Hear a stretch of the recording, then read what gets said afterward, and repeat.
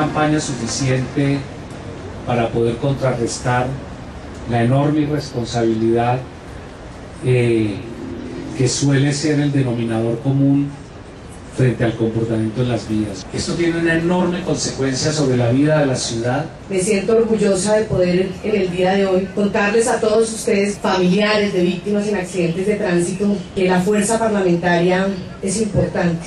Y así como lo pedía el doctor Fernando Álvarez, que apoyáramos una iniciativa que en este momento hace curso en el Congreso de la República y que tiene que ver con sanciones drásticas y severas para aquellos conductores irresponsables que le causan la muerte o la lesión a las personas en un accidente de tránsito.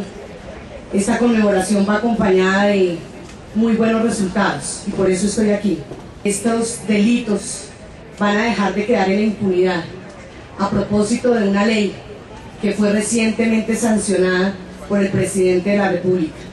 Y me estoy refiriendo a la ley 1326 de 2009.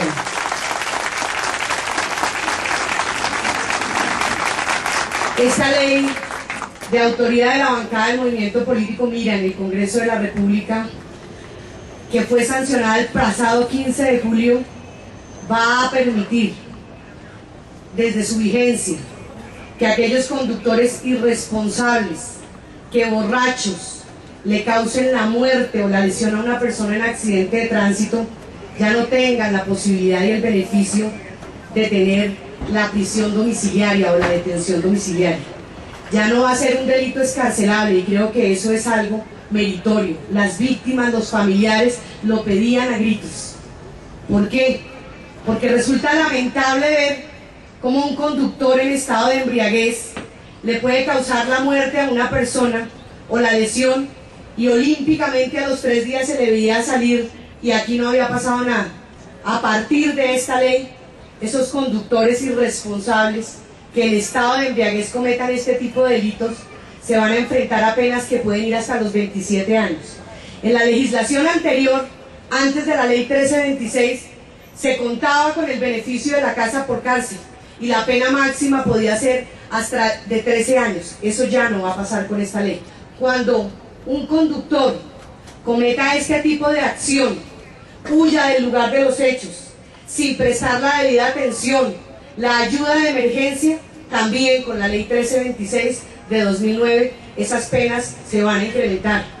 Pero también logramos con esta ley, que es una modificación al artículo 110 del Código Penal, que se convierta en una circunstancia de agravación punitiva el hecho de que aquellos conductores que transportan niños, que transportan eh, pasajeros, que transportan ancianos, y aquí quiero referirme muy especialmente al caso del transporte escolar, esos conductores que no prestan la debida diligencia, el debido cuidado, el mayor grado de responsabilidad y por esa falta de diligencia, por esa negligencia, se causan accidentes en los que se generan muertos o lesionados, también van a tener penas muchísimo más severas. También aquellos conductores que al momento de cometer la muerte o la lesión en accidente de tránsito tengan la licencia de conducción vencida. Pero también esta es una forma de prevenir y nos hemos dado la tarea de socializar esta ley en compañía del Fondo de Previsión Vial. Con el general Palomino, el fin de semana pasado nos dimos a la tarea en muchos lugares, en muchas ciudades de Colombia, de socializar la ley y de contarle a los conductores que ya no se puede manejar el estado de embriaguez, que el licor y el conducir no pueden ir de la mano, que eso se tiene que acabar. Pero ¿qué pasa cuando el conductor es escogido por el agente de tránsito en estado de embriaguez pero no causó muerte ni lesión? También en esto hay un hecho concreto y ese es el homenaje que nosotros le queremos hacer a los familiares de las víctimas. Dependiendo del grado de alcoholemia en que el conductor sea sorprendido, la pena puede ir desde multa, inmovilización del vehículo, se tiene que someter a un curso de sensibilización, de concientización, alcoholemia, pero también va a haber suspensión de la licencia de conducción, que puede ir de 3 a 10 años que dependiendo del grado de alcoholemia podría ir de 10 a 20 años y si la persona es reincidente, esto dará lugar a la cancelación definitiva de la licencia de conducción. Yo no quiero irme de aquí en esta conmemoración sin agradecerle también públicamente al Congreso de la República, a todos los senadores, a todos los representantes a la Cámara. Si bien los proyectos, la ley 1326 son de autoría de la bancada del movimiento político Mira en el Congreso de la República, esto no podría haber sido una realidad si no hubiese habido la voluntad política. Y el Congreso está comprometido. Y ustedes, familiares de las víctimas, porque nosotros también hemos tenido seres queridos que hemos perdido, han sido lesionados por la irresponsabilidad de los conductores y por eso estamos comprometidos con ustedes.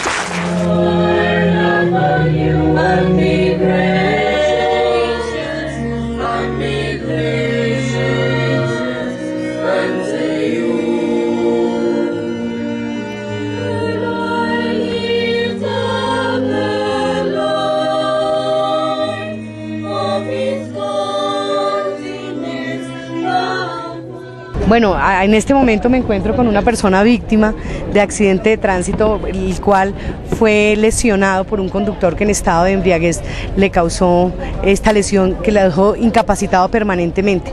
Y él puede dar fe de lo que significa la ley 1326 para personas como él que estando en estado de sobriedad fueron atacados, porque la, palabra es así, atacados por un conductor irresponsable que no respetó su vida ni la de los demás. Entonces la ley ha sido recibida con muchísima acogida, la ley ha tenido mucha receptividad por parte de todas las personas y hay solidaridad del pueblo colombiano porque este tipo de delitos, este tipo de conductas se tienen que acabar. Eso es un llamado y la reflexión que estamos haciendo.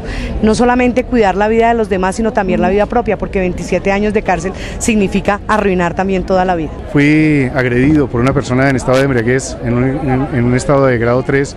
El carro pues fue destruido completamente, a mí me daban por muerto, gracias a dos conductores, incluso pues como lo relataba hace un instante, una persona de un bus que a las 5 de la mañana se encontraba pues para prestar el servicio en ese momento, porque fue a la altura de terminal de transporte de Zipaquirá, en la carrera séptima con décima en Zipaquirá, donde este hombre me agredió y me, pues, me estrelló contra una pared y venía otro conductor en estado también pues eh, sobrio que también fue lesionado. Mire, yo creo que la ley 1326 es ante todo una ley de vida, una ley para la vida, una ley para salvar vidas, una ley para prevenir los homicidios en accidentes de tránsito, una ley para disuadir esos comportamientos y esas conductas eh, violentas en la vía y una ley para educar.